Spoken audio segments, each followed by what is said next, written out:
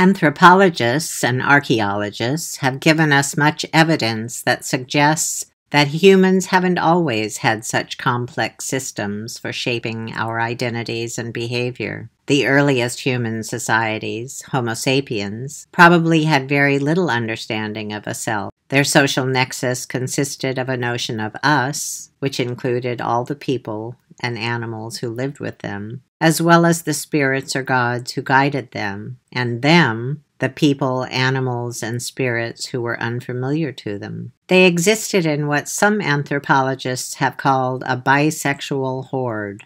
They had no concept of gender or divisions of labor. Everybody did what needed to be done to their best ability. That began to change over millennia, with improvements in tool technology like projectile hunting. As humans began to eat better, women's fertility increased. That meant women spent more time pregnant. Humans then very gradually recognized that only some members of the groups, females, had babies. That recognition produced a new identity child givers. The recognition of women as child givers made it possible for people to trace their membership in a group, their lineage, to specific women. Matrilineal descent became the mechanism for human social organization. It also led to a simple division of labor. Pregnant and nursing women assumed more responsibility for more sedentary activities like tool making rather than hunting, and also for gathering and child care.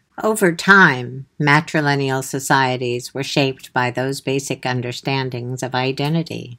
At the center was the Great Mother and her mate or husband. Living around her were members of her lineage. They were obligated to share what they produced. Whatever surplus they had went to the Great Mother.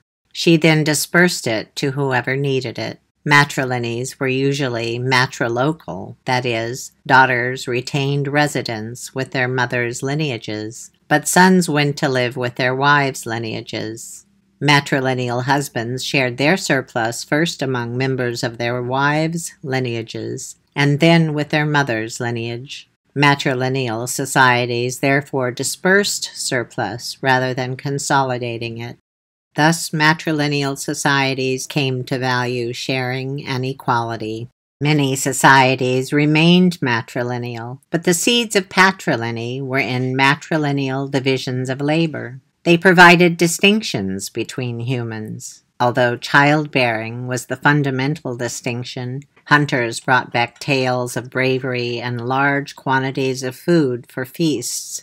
Similarly, beautiful or skillfully made adornment or tools brought both the maker and the user approbation. Individuals could, over time, gain the reputation for being best or worst at any given labor. The development of farming increased populations and also gave people another way to distinguish themselves. Whatever their identity, people could claim that their personal spirit or God guided them in their superiority. Groups began to identify individuals, and individuals identify themselves with not only their ancestral mother, but also with what they did and how well they did it. Distinctions also gave birth to a notion of hierarchy not only as best and worst, but also a hierarchy of speed, strength, and age. Elders retained group memory and were therefore called on to be counselors, to make decisions for the group. Despite such hierarchy, all individuals shared what they had and were equal.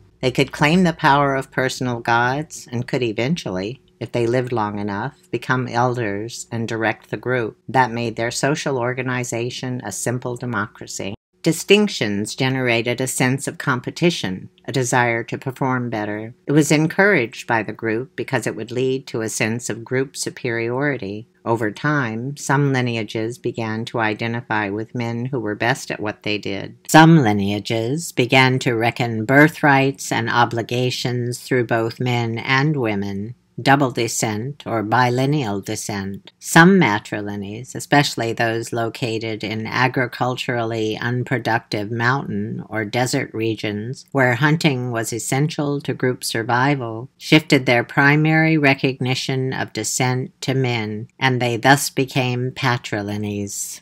The crucial, but basically accidental, difference between matrilinees and patrilinees was the way they organized the distribution of surplus. Patrilinees were usually patrilocal, sons living with their father's lineages, and wives marrying in from outside lineages. Men in patrilinees were obligated to share their surplus with their fathers. Surplus therefore remained within patrilinees, accumulating rather than being dispersed. Since hunters were, at this point, mostly boys and men, and hunters contributed the most surplus, patrilinees accumulated surplus. Their surplus benefited lineages' survival by increasing their populations. Surplus also gave them more power in trade negotiations and the exchange of daughters with other lineages.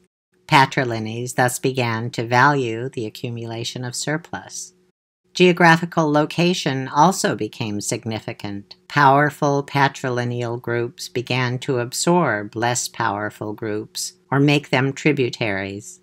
The need to protect their territory and their tributaries created a need for warriors. Warrior then became a new identity. Warriors were also mostly boys and men, and warriors brought back captured people, weapons, tools, and adornment. Warriors, therefore, increased patrilinees' surplus. The accumulation of surplus goods, people, and territory led to more and more identities which in turn reconfigured the ways humans behaved, what they thought was valuable, and how they understood the world. Although most societies throughout the world remained matrilineal or patrilineal, patriarchy grew out of patrilineal. Matrilinees and patrilinees located in the confluences of rivers or trade routes, or those in agriculturally rich regions, attracted immigrants and raiders from less productive areas.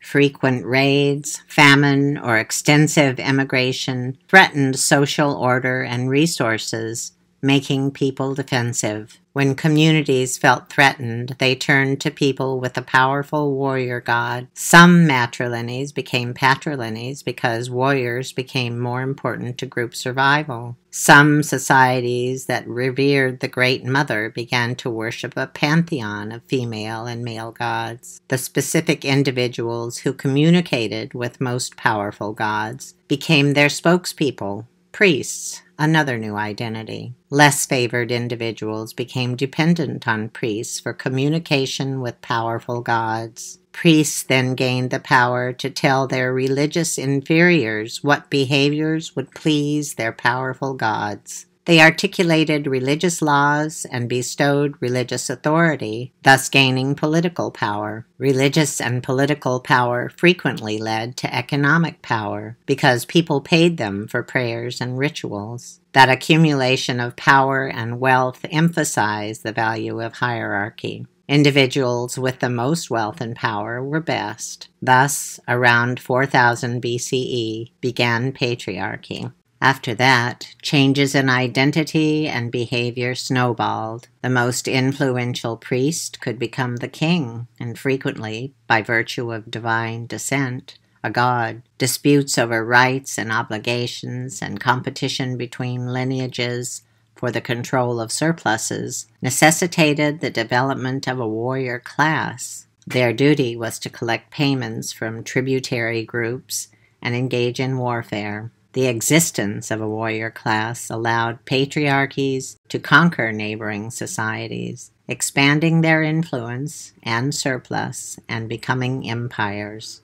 Over time, competition between patriarchies encouraged some men to claim absolute power. As despots or tyrants, they proclaimed civil laws that replaced lineage as the ruling mechanism for social, political, economic, and religious interaction. The concept of gender, which hadn't existed before then, emerged as a way for men to separate themselves from women to limit women's ability to compete with men for wealth and power. Men also expected women to remain virgins until they married so that husbands could claim rights to their children. Gender then became the outline of individual personhood in patriarchies thereafter. Such laws let tyrants justify their own acquisitive and dominating behavior by redefining themselves as a class, aristocracy. They also dictated the appropriate behaviors for women and dominated men, and punished them for not behaving like they were supposed to. Slavery was important in those transformations because slaves provided surplus labor and therefore enriched the power and wealth of men who owned them. Slaves also represented a sort of intergroup them, which became the basis for racism. Carefully maintained hierarchies made the values of sharing and equality important only within families and classes. In patriarchies, the ideal of self government, of democracy, remained alive only among slaves and dominated or conquered people. Us, the people, were always on top, with slaves, dominated, and conquered people below them.